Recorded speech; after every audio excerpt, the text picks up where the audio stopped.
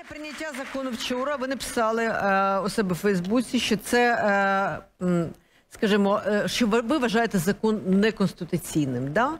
Давайте конкретно по пунктах тоді, чому ви так думаєте і що ви мали на увазі?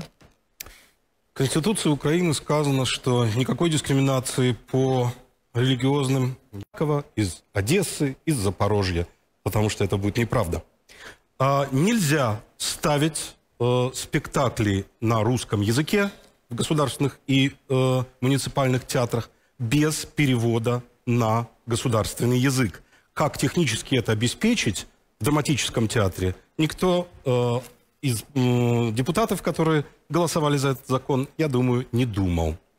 Нельзя просто издавать а, СМИ на русском языке. Не только на русском, естественно, на любом другом. Но мы же понимаем, какой процент русскоязычного населения у нас в стране.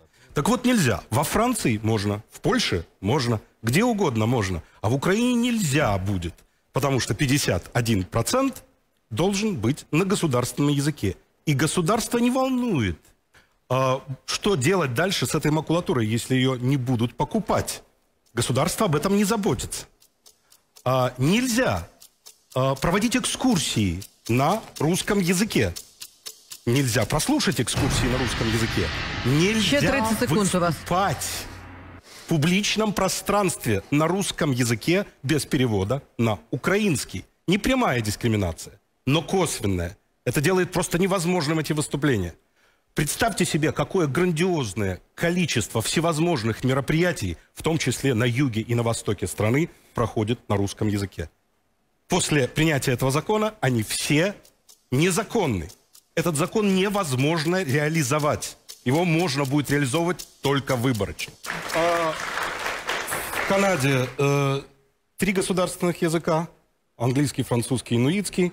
А в Соединенных Штатах государственного языка нету. Никаких препонов а, к языковым меньшинствам они не имеют. Можно делать все, что хотите. Издавайте книжки, СМИ, радио. Пожалуйста. У нас это будет невозможно. Дякую. Если позволите, э, на мой взгляд, это закон об окончательном отделении Крыма и Донбасса.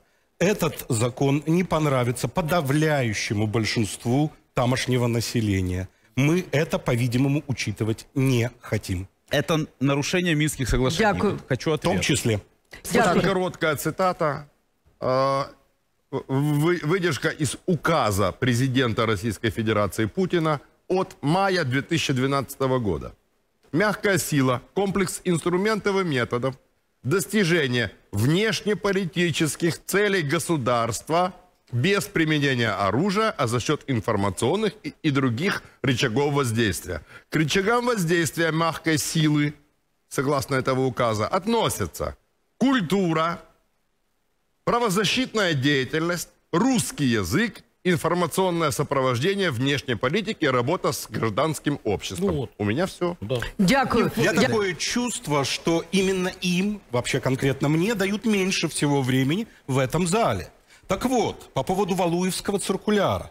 Почему сейчас нынешняя Украина должна уподобляться имперской России, запрещая по существу косвенным образом русский язык? Это же абсурд полный. По поводу реплики господина Туки. А почему мы должны оглядываться на Путина? Мы что, руководствуемся его взглядами? У нас огромное количество русскоязычного населения. Оно превращается в людей второго сорта. Ложь. Ложь! Що ти розказувати вже? Ну, Оно Массовость превращается... культурных мероприятий определяется Давайте- качеством давайте- продукта, а не языком. Ми не сваримось Собирають сьогодні. На Востоке стадионы.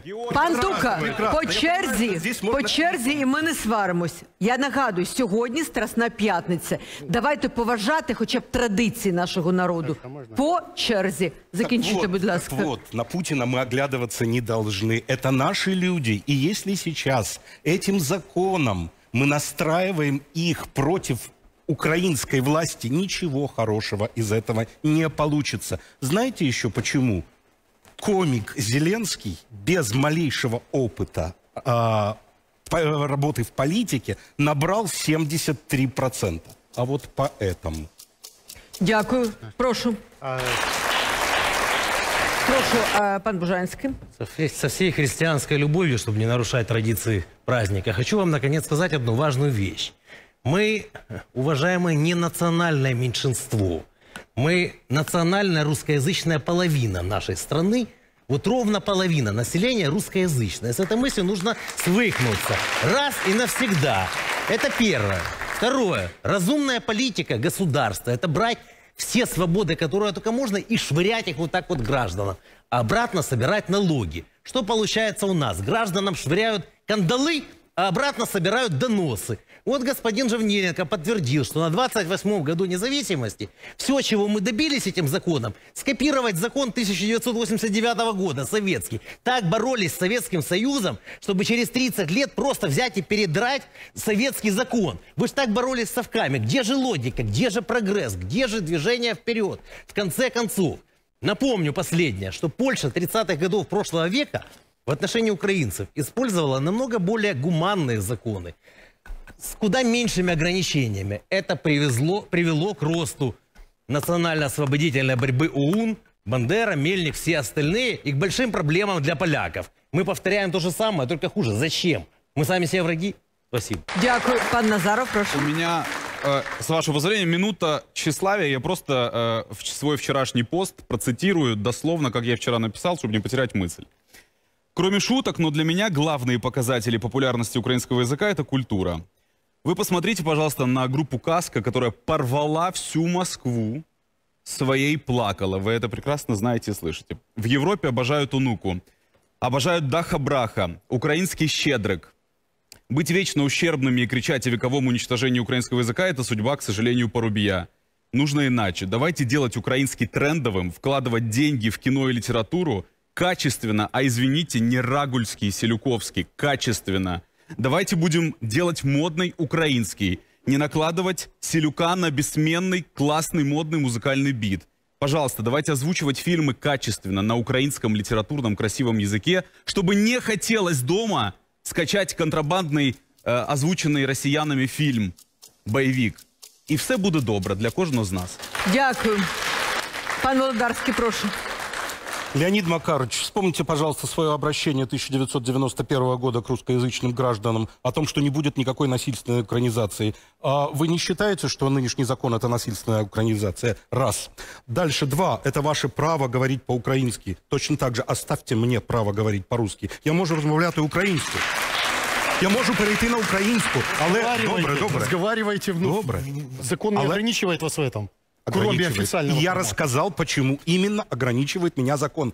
В публичном пространстве мне будет очень трудно говорить по-русски. Кстати, потом вы меня уже сюда не пригласите, потому что мою речь нужно будет синхронно переводить на украинский язык. Да кому же это нужно? Кто будет с этим связываться? Просто будут приглашать только украиноязычных спикеров, да и все. Вы просто заткнете таким образом рот огромному количеству русскоязычного населения. Выбросите его из публичного пространства. Дякую.